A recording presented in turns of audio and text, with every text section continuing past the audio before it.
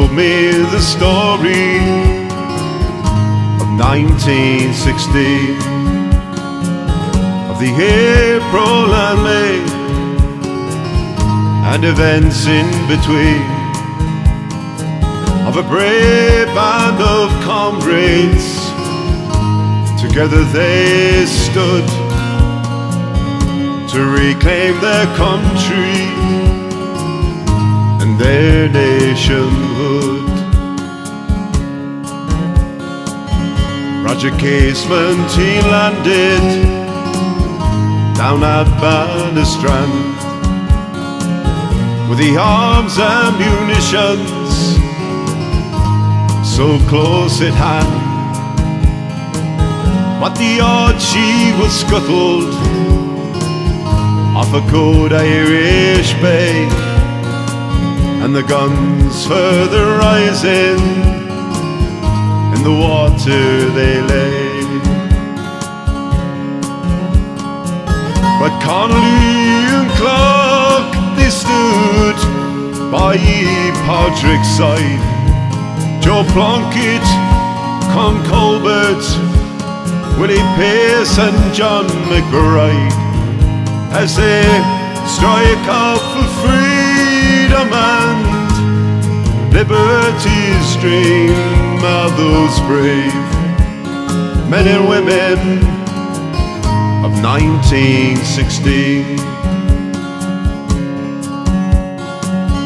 Upon Sackville Street, the proclamation read out, a call to the nation their oppressors to rout. After centuries of bondage and an ocean of tears, I lead in the van was your man Patrick Pearse. With Connolly and Clarke, they stood by Patrick's side. MacDonagh, Ned Daly, Eamon and John MacBride as they strike out for freedom and liberty's dream of those brave men and women of 1960.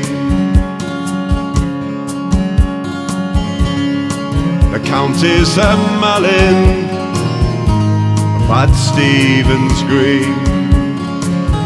Neither one bear allegiance to a king or a queen. And God bless all those women prepared for to die as they marched with their brothers neath that clear April sky.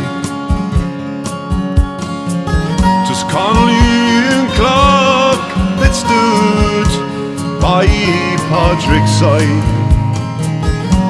Michael O'Hanrahan, Sean Heuston and MacBride as they strike out for freedom and liberty's dream of those brave men and women of 1960. At 16 on Moore Street, they made their last stand. The O'Rahilly cut down, ah, but the fight it was grand.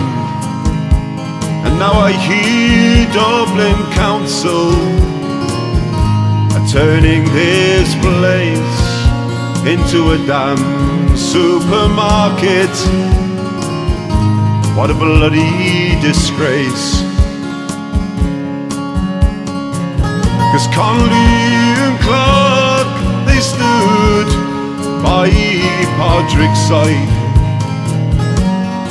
Sean Mac Diarmada, Thomas Kent and John MacBride as they strike out for freedom and liberty's dream are those brave men and women